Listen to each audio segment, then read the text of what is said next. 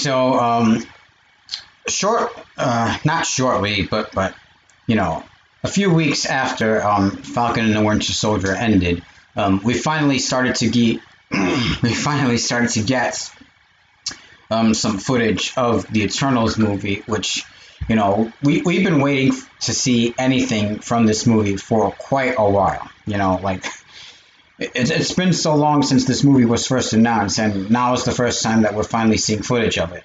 You know, Marvel released this this reel of like the history of the MCU, and and you know they, they showed us some stuff of what to expect from the MCU going forward, going forward. You know, revealing you know what the next movies are going to be as well as the release dates. Um, this confirmed um, the actual title for Black Panther 2, which is now called Black Panther Wakanda Forever, and the actual title for Captain Marvel 2, which is now called The Marvels. And uh, they also confirmed that, um, you know, Fantastic Four is finally uh, going to be coming to the MCU, and and I'm pretty sure that's going to be the last movie of, of, of Phase Four, because um, I don't think we were given a release date for that, which means that certainly it's going to be coming out um, after all of these other movies uh, that um, they showed. But uh, yeah, they announced uh, the, these titles and release dates for all these other movies, and uh, in that uh, they also showed footage of the Eternals for the first time, and then you know after that they they actually released a full Eternals trailer. So uh, I actually don't have any notes prepared for this. I'm just going off the top of my head, so forgive me if I mess up any part of this explanation. But basically, um, in Marvel Comics uh, what happened was uh, a really, really long time ago, like like pre-human civilization and whatnot. These cosmic beings called Celestials came to Earth and basically put uh, three different kinds of humans uh, uh, on Earth. Um, one group is called the Deviants, which are like you know people with unchecked mutations and, and are meant to be the inferiors, you know, to these others that, that they put on Earth. Um, another were, were people with um, more controlled uh, mutations, like like basically how you know how people with superpowers, but they need to be awakened somehow. You know what I mean? Like like this is basically Marvel Comics explanation for where mutants come from and how somebody, for example, like Bruce Banner can be exposed to gamma radiation, and instead of dying from it, he becomes the Hulk you know, so th- this is basically the Marvel Comics explanation for you know superpowered beings, wh- where they come from. And then you have uh, the Eternals, which are people who are more naturally, you know, superpowered and, and you know, basically godlike beings, you know, like like like the superior, you know, power versions, you know, whatnot. I'm explaining this very badly, but but basically, you know, they're they're meant to um, protect over the other humans from the deviants, and um, eventually, what what ended up happening was um, the Eternals, you know, basically failed to do their job because what ended up happening was uh, because the deviants are, are meant to be the the inferior ones and whatnot.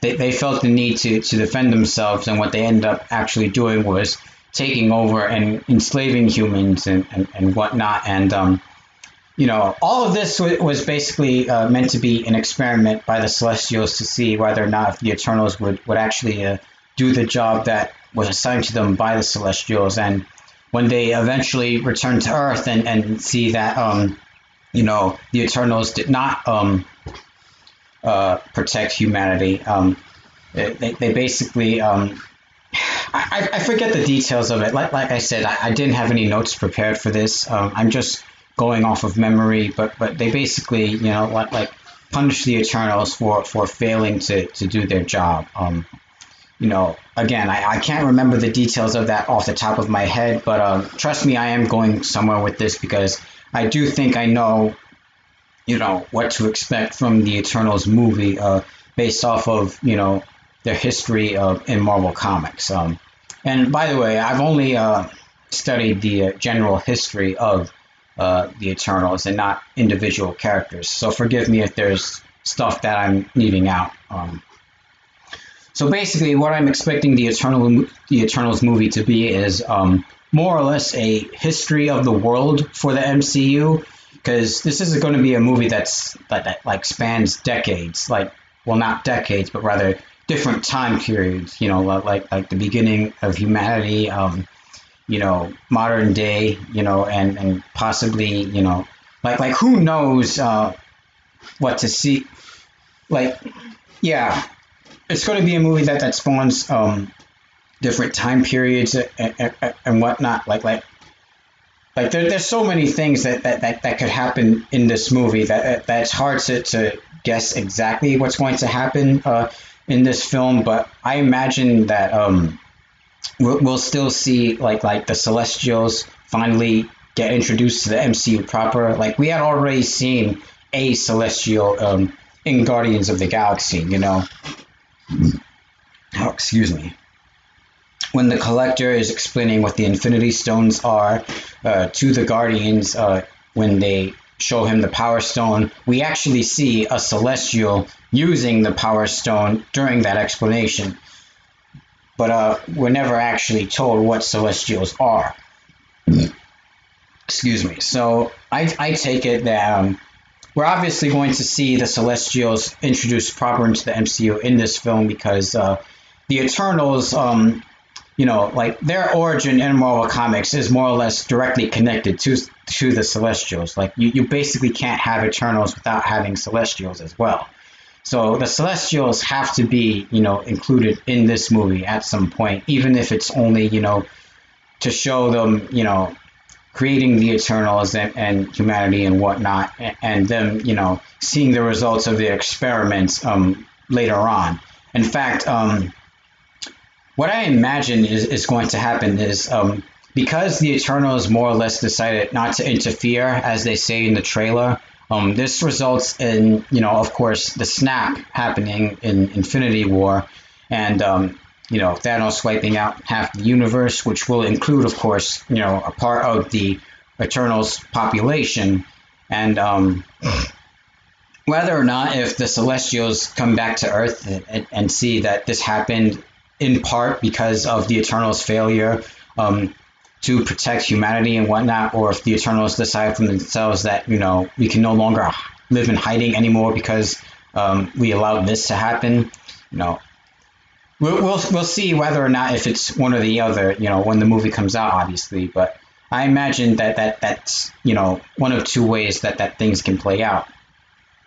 So uh, the other thing that um I, I'm more or less expecting um, from the Eternals is that uh, like I said, in Marvel Comics, they, they explain, you know, where mutants come from from this experiment that the Celestials did um, with the creation of the Deviants, mutants, and and you know, the Eternals and whatnot. So if there's anything that we're going to see that actually starts to begin teasing the existence of mutants in the MCU, it's the Eternals movie. Because again, you know, the origin of mutants in, in Marvel Comics comes from, you know, the Eternals and the Celestials and, and whatnot. So, you know, there's no other better place for them to, you know, explain where mutants in the MCU come from than this movie. You know, even if it's only like like a teeny tiny thing that you know you got to look for and understand as a comic book fan in order to find uh, in the movie. It's also entirely possible that um, that we won't see mutants teased in the Eternals, and they're going to actually wait until. Well, I don't know if they're going to make this a, a, like a franchise or a trilogy or anything like that, but it's possible that we won't see mutants teased in the MCU until an Eternals sequel, which God will will be like forever from now. But um, yeah. Um, if there's any place to, to, to look for the beginning of the introduction of mutants in, in the MCU, it's definitely the Eternals. Um, which is one of the reasons why this is probably the thing from the MCU that I'm looking forward to the most uh, this year. Uh, well, besides Spider Man, obviously. But um, yeah, uh, one last thing uh, that I wanted to discuss real quick is again be- because um, you know the origin of the Eternals you know involves also the creation of, mutants and and as I mentioned before, deviants. Um, Thanos was a, a, deviant, you know, So, you know, his, his he has a connection to the Eternals as well, and uh, I don't think we'll see Thanos uh, in the Eternals exactly. Um, if anything, we'll, we'll, we'll see like a cameo from him or whatnot, you know, or maybe a character related to his his origin, you know. I don't know. He he'll, he'll play either a cameo or, or small role in the movie at most, and uh, if anything, you know, if we if we do see him in the movie, it'll most likely just be like a flashback to, to you know, him on Titan or or you know just the events of Infinity War or whatnot you know, I don't expect Thanos to, to play that big of a role, you know, if he shows up in the Eternals at all. But it's definitely a possibility he'll at least make a cameo again, since he was a deviant and and um, you know, deviants and Eternals are related characters, you know, races, whatever. So uh, yeah, that that's more or less uh, what we can expect uh, from the Eternals movie, I think. And uh, with that, um, I have basically covered all of the topics that I, I wanted to talk about this week. Uh, like I said, there, there's more stuff that, that I wanted to get to, but I'll cover all of that um, when I have Marvel Mondays uh, next week. I, I assure you, for real this time, whether it happens in the morning or evening, I am going to do Marvel Mondays next week. So, uh, yeah, thank you everybody for watching. Uh, I hope you have a great rest of your day. Uh, take care of yourselves. I'm going to go watch episode two of Loki uh, after this video uh, finishes uploading. So, uh, yeah, I'll see you next week for Marvel Mondays, and we'll talk about the rest of the topics that I wanted to get to, and uh, also Loki episodes one and two, because I think it would be better for me to wait until next week to talk about uh, uh, the first two episodes of Loki, since given everything else I've already talked about this week, it's already becoming a bit too much for, for, for me to cover. So uh, yeah, next week we'll, we'll talk about Loki and the other stuff I want to get to. So uh, thank you all for watching. Uh, have yourselves a great rest of your day, week, and whatnot. And take care of yourselves. See ya.